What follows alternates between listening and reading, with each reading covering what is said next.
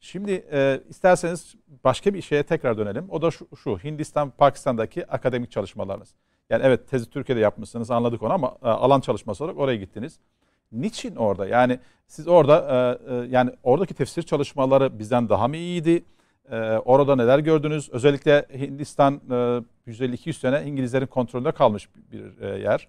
Orada bu İngilizlerin hakimiyetinin tefsir çalışmalarına bir yansıması olmuş mu? Peş peşe sorular soruyorum. Bir de biraz önce ehli Kur'an dediniz. Ehli Kur'an mealcilik gibi bir şey mi başka evet. başka başka bir şey mi? Bunlara değinirseniz e, Tabii izleyicilerimiz açısından iyi olur. Özetle bunlara e, değineyim. Eğer e, yönetimdeki arkadaşlarımız e, Hint alt kıtası düşünce ve tefsir ekolleri isimli kitabımızı ekrana yansıtırsa Eyvallah. onun üzerinden bir iki bir şey söyleyeceğim. Evet aslında bugün ben sizden istemiştim herhalde ben de maalesef Eyvallah, hazırladığım halde getiremedim. Evet. Hocamızın çok değerli güzel kitapları var ama bugün burada onlar olacaktı herhalde bir unutulmuş. Şimdi ee, tabii ama internetin ismi girerseniz bütün kitaplarına ulaşmış oluruz. Şimdi tabii e, insan zihni çok ilginç bir zihin. Ankara İlahiyat'tan bazı arkadaşlarımız anlatmıştı. Zamanda onlar bir anlaşma yaptılar. Hı.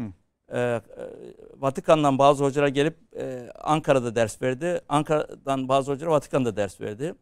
Vatikan'dan gelen hocalar Ankara'da ders verirken derse ilgisi olmayan, çok fazla şey olmayan bir kısım öğrencilere bile İslam'ı savunmak adına çalışıp çalışıp ona cevaplar yetiştiriyorlarmış. Bunun gibi Hindistan'da da e, en önemli kırılma e, 1500'ün sonlarında 1600'ün başlarında e, bu misyonerlik çalışmalarıyla oldu. Hı hı. Belki buradan başlamak Eyvallah. faydalı olabilir. Hı hı. E, bilindiği üzere e, Hindistan İslam'la Hazreti Ömer zamanından itibaren başladı.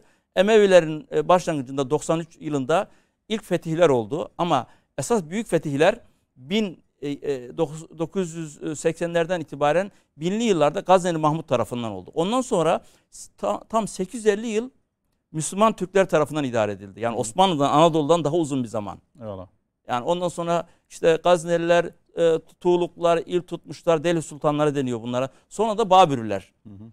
E, esası çok uzun bir e, dönem. Ben sizin bu konudaki seminerlerinizin en az 2 saat 3 saat sürdüğünü biliyorum hocam. Aman oraya girmeyin. Yok oraya girmeyeceğim. Bunu şunun için söylüyorum. Çünkü fakat, önümüzde bayağı konuşacak konularımız var. Buraya hızlı geçelim. Fakat burada şunu esas belirtmek istiyorum. Orası Batı dünyasına çok uzun bir yer. Osmanlı'ya baktığımız zaman Osmanlı sürekli olarak Batı'yla e, mücadele halinde olmuş. Hem Hristiyanı tanıyor, hem Hristiyanlığı tanıyor, hem bu mücadeleleri biliyor. Yani bizde mesela Bizans oyunu diye bir kelime var. Bizans oyunları diye kelimeler var. Ama o da o, o bölgedekiler bilmiyor. Misyonerler geldiğinde buraya gelmiş misafirler başka dinden olabilir önemli değil. Onlara kucak açmışlar. Hı hı. Ekber Şah sarayında ağırlamış bunları. Hı hı. Ve demiş ki bunların hiçbirine ilişilmeyecek. Hı hı. Fakat oraya misyonerlik maksadıyla gelen bu batılı cizvitler bu, buradan yararlanarak çok ciddi anlamda e, orada olumsuz faaliyetler yapmışlar. Hatta ben yanıma bir şey aldım. Oraya özellikle okuyacağım. Koryat isimli bu 1612-1617 yıllar arasında e, oraya gitmiş Thomas Koryat. E, şöyle diyor. Orada anlattıklarından Hı. hareketle şöyle diyor. Eğer ben Türkiye veya o zaman işte Osmanlı'yı kastediyor. Osmanlı ve İran'da Muhammed aleyhinde bu denli çok şey söyleseydim beni ızgara üzerinde rosto yaparlardı. Fakat bir Hristiyan Moğolların yani Babürlerin hakimiyeti altında dünyada başka bir İslami devlette olmayacak ölçüde serbest konuşabilir. Şimdi Ekber Şah güya sulh adına, güya bunlara kolaylık gösterme adına müthiş bunlara imkan tanımış. Demiş ki ülkenin istediğiniz yerine dolaşabilirsiniz. Hristiyanlığı istediğiniz gibi anlatabilirsiniz. Fakat bunlar buradan yararlanarak, buradan yararlanarak çok sayıda orada Hristiyanlık cemiyeti açmışlar. Hı hı. Cizvitler Katoliktir. Protestanlık 1600'lerden itibaren başladı. Protestanlar geldikten sonra 1600'lerden itibaren Cizvitleri biraz kenara çektiler. Bunlar çok daha fazla faaliyete girdiler. Ve fazla değil hocam. Aradan 200 yıl geçmeden dünyanın hiçbir yerinde olmayacak kadar çok sayıda misyonerlik cemiyeti kuruldu. Hocam bunların tefsir çalışmalarına yansımaları Bakın, ne? O, o, onu söyleyeceğim. Ve bunların temel hedefi iki temel hedef oldu. Kur'an ve Hazreti Peygamber. Hmm. Çalışmaların temelinde bu iki şey vardır. Kur'an'ın kendisi yani Kur'an Allah kelamı olmadı. Hazreti Peygamber'in de gerçek peygamber olmadı. Hı Bu yönde çok fazla çalışma yaptılar. Hı Bununla yetinmediler. Ee, İncil'i İncil'i bütün mahalli dillere çevirdiler. 32 kadar dile çevirdiler. Bir kısmında lehçelere de çevirdiler. Ve bunları bedava olarak bütün Hindistan'a dağıttılar. Evet. Yani Müslüman gençlerini Hristiyanlaştırmak için büyük çaba sarf ettiler. Tabii ki bu Hristiyanlaştırma faaliyetinde başarılı olamadılar. Ama zihni dönüşümde başarılı oldular maalesef. Ondan dolayı belli bir zaman sonra ehli Kur'an ortaya çıktı. Şimdi sorunuza geliyorum. Belli bir zaman sonra ehli Kur'an ortaya çıktı. Çünkü bunlar 1600'den itibaren 1813'e kadar çok ciddi bir faaliyet gördüler. 1813'ten sonra artık resmi olarak bulunan fakat fiili olarak bulunmayan bir Babür devleti vardı ortada. Yani İngilizler esasen 1813'ten itibaren e, hakim oldular. 1857'de resmen Babür devletini yıktılar ve orada e, İngilizlerin e, Hindistan genel valiliğini oluşturmuş oldular. Yani İngiliz Hindistan'ını oluşturmuş Eyvallah. oldular. Şimdi bu zaman içerisinde birkaç politika takip ettiler. Mesela biz İngilizlerin gelmesinden önce bölgeye baktığımızda bölgede yeknesak bir yapı var. Yani Müslümanlar yani çok fazla bölünmüş değiller. Küçük tasavvufi şeyler var. Onlarla birbiriyle ihtilafı yok. Yani bir tarafta e, işte İmam Rabbani'nin yolunda giden müceddidiler var. Bir taraftan Çiştiye tarikatı var. Bir taraftan Kadiriye var. Bunların birbiriyle hiçbir mücadelesi yok. Ama İngilizlerin hakim olmasından sonra müthiş bir bölünme Müslümanlar arasında meydana geldi. Bunu da İngilizler çok e, e, taktikler uygulayarak gerçekleştirip yaptılar.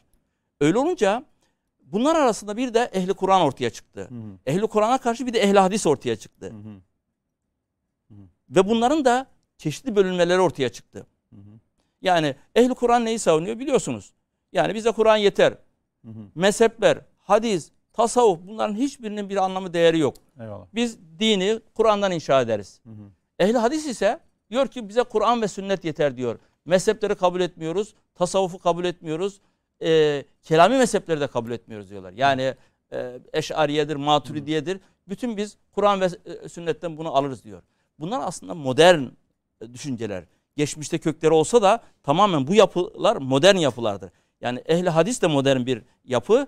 Evet. Hi- Hindistan ehli hadis hareketi, ehli Kur'an hareketi de modern bir yapı. İşte bunlar bunlar e, yani bir yandan bir fikri canlılık meydana getirirken bir yandan Müslümanlar arasında müthiş bir bölünme meydana getirdi. Yani bu misyonerlik çalışmaları e, fay hatlarıyla oynadığı için toplumda büyük çatlaklar meydana gel- geldi. Bu detayları gerçekten çok detay var biliyorum ama program sıkışmaya başladı. Evet. Bütün bu detayları hangi kitabınızda okuyabiliriz hocam? Şimdi e, çok e, güzel bir soru geldi. Ben e, Hint alt kıtası düşünce ve tefsir ekolleri diye çıkan ilk 2001'de yayınlandı. Sonra üçüncü baskısı yapıldı. Bu kitapta bölgedeki tefsir çalışmalarını, fikri hareketli anlattım ama dedim ya bu bu çalışmaların bir sebebi olması lazım. Bu sebebini de bir kitapta anlatmam lazım dedim. Eyvallah. O sebeple tersten bir çalışma yaptım ve bunun üzerine Oryantalist Misyonerler ve Kur'an isimli bir kitap yazdım. Hmm. O sebeple e, okuyucuların önce bu kitabı okuması sonra öbürünü okuması lazım ki Evet. e, anlayabilsinler. Buna şey diyebilir miyiz? Yani e, Türkiye'de son dönemde hakikaten e, çok fazla konuşulmaya başlayan oksidantalizm diye bir çalışma var. Yani oryantalizm tersinden okumak. E, sizin yaptığınız belki ilk oksidantal çalışmalardan birisi olsa gerek yani. Yani esasen bölgede oksidantalizm çalışması çok iyi bir zamanda başlamış. Hmm. E, meşhur Rahmetullah Hindi Efendi onların en büyük münazaracısı olan e, Karl Gottlieb van der'i 19- e, 1854 yılında Agra münazarasında yeniyor. Bu Hristiyanlık tarihi, Hristiyan misyonerlik tarihi açısından da tam bir e, dönüm noktası, bir kırılma noktası. Şok yaşadıkları bir dönemdir. Zaten e, Rahmetullah Hindi Efendi gizlice Hindistan'dan kaçıyor. Çünkü başına ödül konuyor, öldürülmek isteniyor. E, Mekke'ye geliyor. Mekke'den de Sultan Abdülaziz onu özel olarak davet ediyor İstanbul'a. İstanbul'da diyor ki buraya geldin diyor. Burada ne kadar kalmak istersen kal biz sana her türlü imkanı verelim. Lütfen şu tartışmayı kitap olarak yaz diyor. E, O da bu meşhur İzharul Hak kitabını İstanbul'da yazıyor. Yani İsharul Hak kitabı Sultan Abdülaziz sayesinde ortaya çıkmış Tabii oluyor. İstanbul'da yazılıyor. Yani o tartışmaların tamamı kitap haline İstanbul'da getiriliyor. Hatta daha Osmanlı'nın o zamanındaki Arapça yazıldıktan sonra hemen Osmanlıca'ya çevriliyor. Birkaç çevirisi de yapılıyor.